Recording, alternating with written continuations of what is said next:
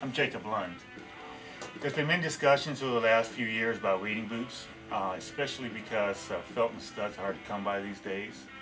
Uh, however, there's a new solution for that.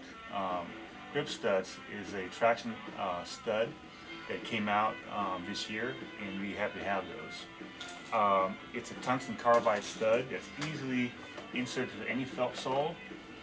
I'll show how that works. This company makes studs for tires, uh, ATVs, off-road vehicles, and so it's a very, very strong stud, perfect for Oregon, um, Southwest Washington, the Oly Pen, and Northern California. Here I have an old tire that these studs have been inserted into. I take the stud out here. It's a very short stud with a strong tungsten car carbide tip. You take a, a boot that has felt.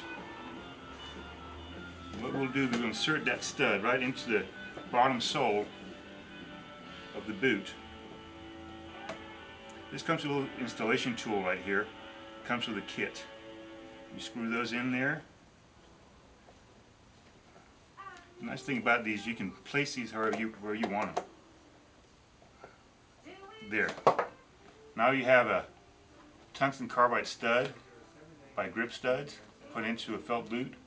You put a set of those in there and the Deschutes or the Clackamas or the North Coast is no more problem for you.